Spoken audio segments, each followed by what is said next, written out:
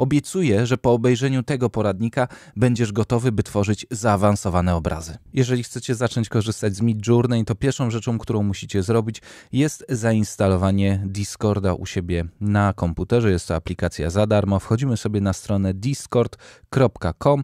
Po zainstalowaniu Discorda wchodzimy na stronę midjourney.com a następnie w prawym dolnym rogu szukamy napisu Sign In. Teraz aplikacja zażąda od Was logowania się do Discorda i teraz oczywiście możecie zalogować się do swojego Discorda za pomocą maila i hasła. Klikamy zaloguj się i w tym momencie ważne jest, żebyście wybrali sobie plan, który Was interesuje. Oczywiście mamy rozliczenie roczne, miesięczne. Jeżeli zależy Wam na tym, żeby spróbować Midjourney, no to polecam zacząć od tego podstawowego planu, ewentualnie później przejść do tego standardowego. Teraz wpiszcie sobie w wyszukiwarkę Midjourney Server i kliknijcie na zaproszenie do Discorda po to, żeby dodać serwer Midjourney do waszego Discorda. Po przyjęciu zaproszenia do serwera Midjourney pojawia Wam się ikonka Midjourney tutaj po lewej stronie. To, co musimy zrobić, to teraz klikamy dodaj serwer i tworzymy własny serwer dla mnie i dla znajomych. Możecie wpisać tutaj nazwę serwera, klikamy stwórz, i tutaj, tak jak widzicie, mamy już nasz serwer. Następnie przechodzimy do serwera Midjourney, klikamy w prawym górnym rogu pokaż listę członków, a następnie znajdujemy bota, który nazywa się Midjourney Bot. Klikamy lewym przyciskiem, wybieramy dodaj do serwera, a następnie wybieramy serwer, do którego ma być dodane, czyli serwer użytkownika Bartek Dziedzic TV, który przed chwilką stworzyliśmy. Klikamy kontynuuj, autoryzuj, teraz możemy już przejść do naszego serwera z botem Midjourney. I tutaj, tak jak widzicie, macie już bota, także możecie go sprawdzić po prawej stronie w użytkownikach i teraz możemy już zacząć generować obrazy. Tutaj po lewej stronie oczywiście możecie tworzyć nowe kanały tekstowe, możecie to traktować jako tematy rozmów z Midjourney, jeżeli chcielibyście sobie to podzielić. Klikamy plusikiem, wybieramy nazwę, klikamy utwórz kanał i w każdym z tych kanałów oczywiście możecie dzięki Midjourney generować obrazki. Pierwszą rzeczą, którą musicie zrobić, to kliknąć slash i tutaj macie dostępne komendy i polecam Wam wpisać sobie settings albo wybrać z tego menu, które się tutaj pokazało. Pojawia nam się kilka ustawień. Przede wszystkim wybór modelu i tutaj oczywiście polecam Wam korzystać z najnowszego 5.2 ewentualnie jak będziecie mieli nowszy, to przełączycie się na ten nowszy. Mamy także nietypowy tryb Niji Model, jest to tryb, który w bardziej komiksowy sposób tworzy nam nasze generowane grafiki, także jeżeli chcecie sprawdzić, to możecie się przełączyć na ten model. Pod spodem mamy kilka ważnych opcji. Po pierwsze, bot Midjourney został przeszkolony do tworzenia obrazków preferujących taki artystyczny kolor, kompozycję i formy. Niskie wartości tej stylizacji, czyli Stylize Low i Stylize Med, dają obrazy, które są ściśle zgodne z promptem, ale są mniej oczywiście artystyczne. Natomiast Stylize High i Stylize Very High, te wysokie wartości stylizacyjne tworzą obrazy bardziej artystyczne, ale mniej związane z waszym zapytaniem. I ten styl można także zmieniać za pomocą parametru minus minus style indywidualnie do każdego wpisywanego prompta. Następnie mamy tryb Remix Mode i od razu polecam go włączyć i użyj tego trybu Remix, aby zmieniać polecenia, parametry, wersję modelu lub proporcje między wariacjami. I to, tak jak mówiłem wcześniej, oczywiście warto włączyć. Mamy także tryb Variation Mode, i możesz przełączać się między trybem wysokiej wariacji, High Variation Mode, a trybem niskiej wariacji, Low Variation Mode, e, decydując jak różne lub podobne mają być nowe obrazy w porównaniu z oryginalnym obrazem, który tworzysz w Midjourney. I domyślnie Midjourney stosuje tryb wysokiej wariacji dla wszystkich tworzonych obrazów w wersji 5.2, ale możesz przełączyć się na tryb niskiej wariacji w ustawieniach w każdym momencie, kiedy tylko potrzebujesz w czasie tworzenia obrazów. I dodatkowo pamiętaj też o tym, że masz możliwość dalszego dostosowania tych wyników, wybierając opcję Very Strong, e, zmieniaj mocno lub Very Subtle, zmieniaj subtelnie w ramach wybranego trybu wariacji, ale oczywiście o tym powiem Wam później. I na końcu mamy tryb pracy turbo, szybki i relax, czyli jak szybko mają być generowane obrazy i jest to oczywiście ściśle związane z planem, który wykupiliście i dostępnością godzin w trybie szybkim. Jeżeli chcesz wygenerować pierwszego prompta, klikamy slash, wpisujemy imagine, następnie Enter i tutaj wpisujemy naszego prompta. Wyobraźmy sobie, że chcemy wygenerować e, postać filmu Black Panther mm, na Księżycu. Klikamy Enter i w tym momencie rozpoczyna się generowanie tego obrazu. Oczywiście im więcej informacji podacie, tym generowany obraz będzie bardziej dopasowany do tego, czego oczekujecie. I teraz, tak jak widzicie, generuje nam się obraz oczywiście w trybie fast, tak jak tutaj widzicie, więc ten obrazek dosyć szybko nam się generuje. No i zobaczmy, pierwszy prompt mamy coś takiego. Midjourney generuje nam propozycję w ten sposób. Klikamy, mamy powiększenie. Obrazki, które tutaj widzicie, mają poszczególne numery. Tutaj mamy pierwszy, drugi, trzeci, czwarty. Pod spodem mamy dwa rzędy przycisków U1 do U4. Są to przyciski od upskalowania, czyli jeżeli podoba Wam się jakiś obrazek, który został wygenerowany i chcecie mieć go w większej rozdzielczości, klikamy sobie wybrany obrazek, na przykład U1 i w tym momencie Midjourney generuje nam obrazek o wyższej rozdzielczości i ten obrazek możecie już sobie pobrać. Natomiast przyciski V1 do V4 odpowiadają za wariacje, czyli jeżeli podoba Wam się na przykład wariacja druga i chcielibyście iść dalej i generować obrazki na podstawie tego drugiego obrazu, to wciskacie sobie V2 i w tym momencie Midjourney zaczyna generować kolejne propozycje, opierając się na tej wariacji drugiej. No i tak jak widzicie, pod spodem Midjourney wygenerował nam obrazki, które bardzo przypominają tą wariację drugą. Jeżeli chcielibyście wprowadzić jakiekolwiek zmiany na obrazku, który Wam się podoba, to musicie po pierwsze upskalować jeden z tych obrazków, który e, znajduje się tutaj w tych czterech propozycjach, wciskając odpowiedni przycisk U1, U2, U3, U4. Wybieramy sobie obrazek U1, wciskamy U1 i pojawia nam się obrazek o wyższej rozdzielczości pod spodem. I teraz trzy ważne przyciski. Very strong, very subtle i very region. W tym momencie, jeżeli chcielibyśmy na podstawie tego jednego obrazka generować kolejne propozycje grafik, to możemy wybrać opcję na przykład strong. I jest to opcja, która sprawia, że kolejne wariacje tego obrazu będą mocno się różniły od tej. A więc spróbujmy. I zobaczcie, tak Mid Journey podsuwa nam kolejne propozycje, jak może wyglądać ta czarna pantera. Czyli nowa wariacja i to była opcja Strong. Możemy także wybrać wariancję Subtle, czyli zmiany będą subtelne, niewiele różniące się od tego oryginalnego obrazu. A więc spróbujmy. I zobaczcie, jak duża jest to różnica, jeżeli porównamy oczywiście wersję Strong z Subtle. Czyli te subtelne zmiany, popatrzcie jak zupełnie inaczej wyglądają. Tutaj obrazki różnią się w niewielkim stopniu między sobą. I trzecia opcja to jest Vary Region. Klikamy i teraz pojawia nam się edytor, w którym mamy dwa główne narzędzia. Narzędzie wyboru regionu, takie w formie prostokąta lub kwadratu. Jeżeli to narzędzie Wam odpowiada, no to to jest najprostsze narzędzie, którego możecie użyć.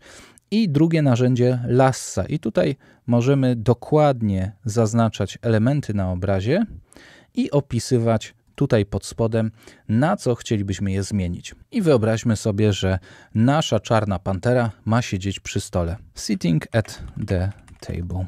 No i podglądnijmy zmianę. Zobaczcie, i czarna pantera siedzi teraz przy stole, i oczywiście ta skała, gdyby była szerzej zaznaczona, pewnie e, też zmieniłaby się ewentualnie. Moglibyśmy nawet czarną panterę zaznaczyć razem z tą skałą i wtedy być może to wpasowanie stołu byłoby lepsze. W każdym razie tak działa właśnie zaznaczenie regionu i podmiana wyłącznie fragmentu naszego obrazu. Oczywiście w taki sam sposób możemy dodawać różne rzeczy lub je usuwać. Wystarczy, że zaznaczymy fragment naszego obrazu, i wpiszemy, że chcielibyśmy tutaj dodać wodospad. Klikamy Submit. No i zobaczcie, tak wygląda nasz obrazek z dodanym wodospadem. Jeżeli na przykład klikniecie Zoom Out dwa razy, to w tym momencie zostanie ten obrazek pomniejszony i wokół niego zostanie dorobiona dodatkowa grafika. No i zobaczcie, mamy propozycję po tej komendzie zoom out dwa razy zupełnie inaczej to wygląda. Natomiast pod spodem mamy jeszcze strzałki, dzięki czemu możemy generować na przykład po lewej stronie dodatkową grafikę po prawej u góry lub na dole. Jeżeli chcecie wygenerować obrazek w pionie, wpisujemy Imagine, a następnie wpisujemy co chcemy wygenerować, klikamy dwa razy minus, wpisujemy AR i wpisujemy proporcję obrazu, czyli 9 do 16. No i mamy obrazki w pionie.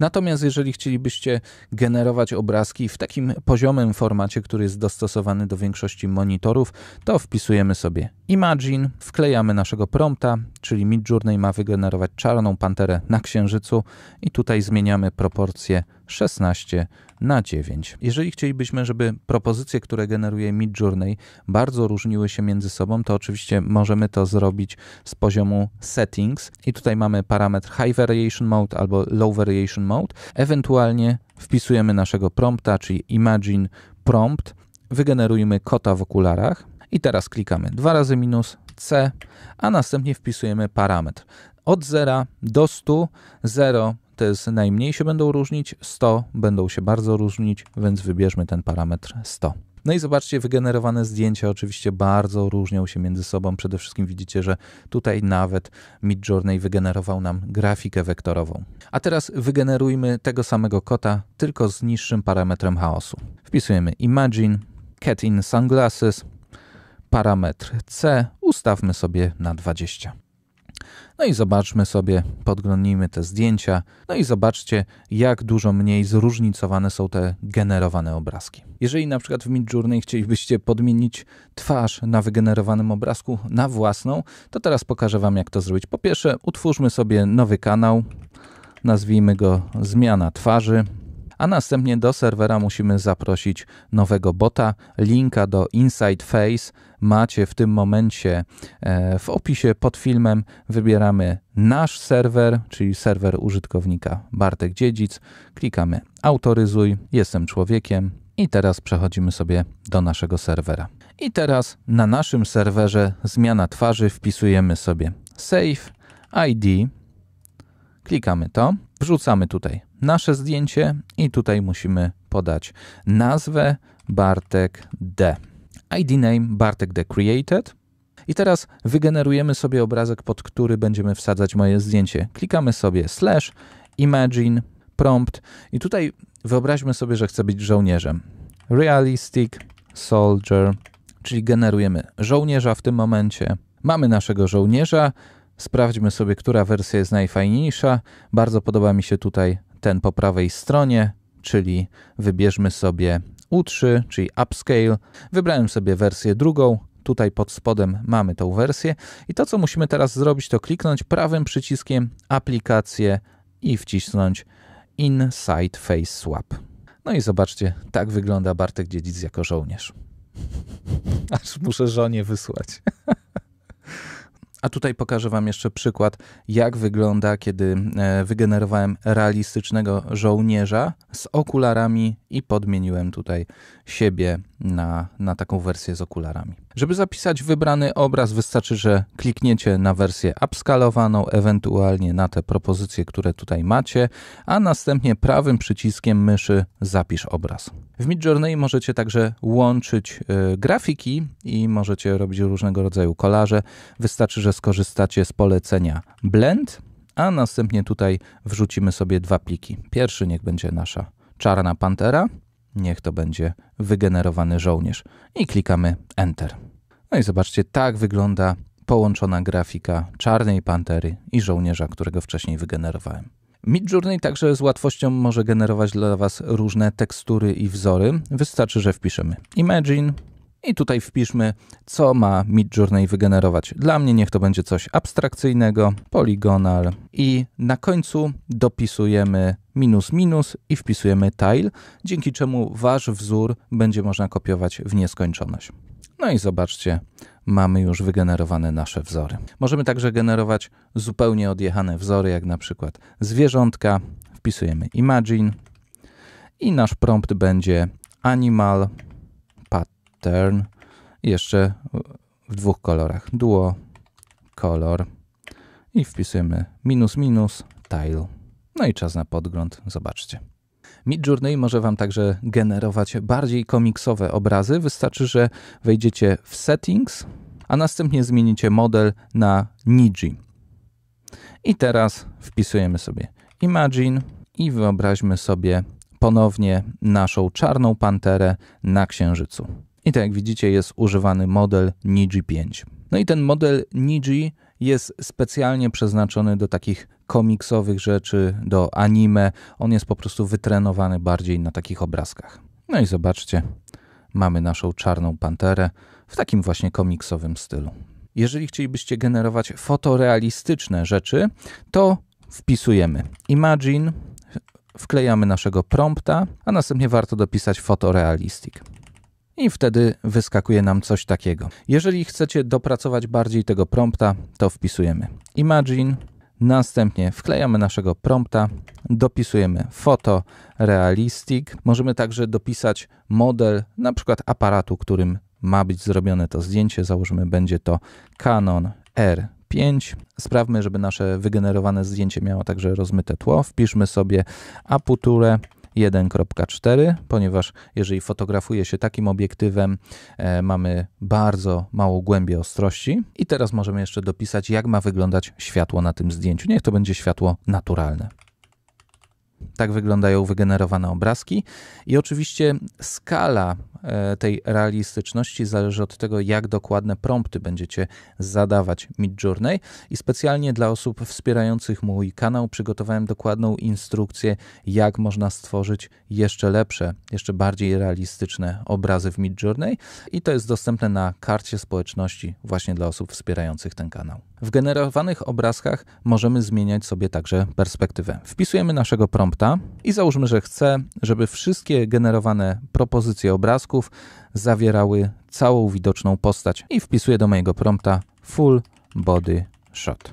No i zobaczcie, tak wyglądają generowane propozycje. Oczywiście tutaj coś nie wyszło, ale tutaj mamy praktycznie całą postać widoczną na tych renderach. Teraz na ekranie pokazują Wam się inne propozycje, które możecie wykorzystać.